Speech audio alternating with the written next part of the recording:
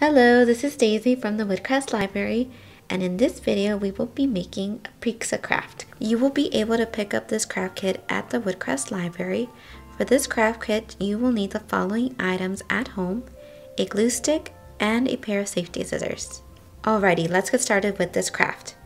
The first thing you want to do with this craft is go ahead and cut out your pepperoni slices, your mushrooms, and your olives.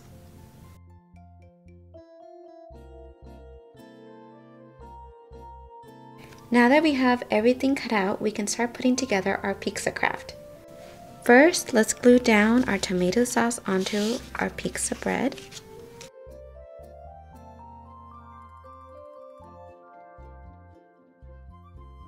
Now, you're able to decorate your pizza with whatever toppings you would like. We can put some mozzarella cheese, some olives, some pepperoni, or some mushrooms. Feel free to create.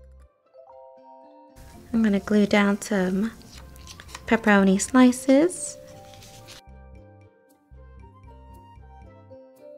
And then a few olives. And then some mushrooms.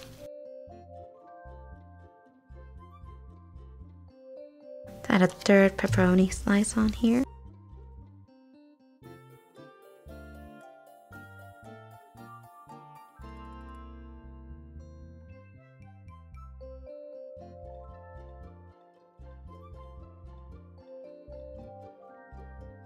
Put some glue all over and then I'm gonna start putting some mozzarella cheese.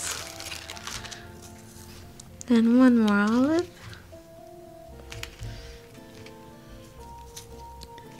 And one more mushroom.